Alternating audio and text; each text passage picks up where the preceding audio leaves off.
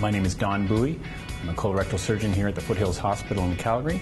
I'm representing Top to Bottom. This is our second year with the Top to Bottom uh, campaign. Uh, last year we were very successful raising money for uh, TEM equipment, which will help with the local excision of uh, rectal cancer in our area.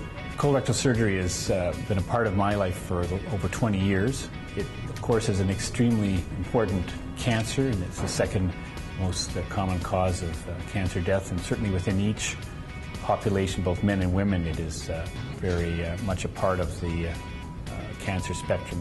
One of our goals, of course, is to make sure that every patient that we take care of has optimal care and gets offered every possible resource they can to cure them from their cancer.